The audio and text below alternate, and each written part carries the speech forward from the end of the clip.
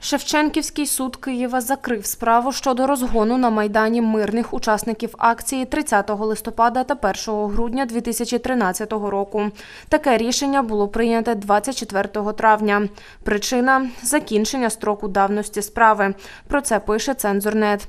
Як пише авторка статті Тетяна Ніколаєнко, з підозрюваних зняли усі обвинувачення і скасували арешт з їхнього майна. Потерпілі заперечували, але зміст закону був на боці обвинувачених. Нагадаємо, що в ніч на 30 листопада внаслідок дій Беркуту постраждали щонайменше 79 осіб, 36 з них затримали.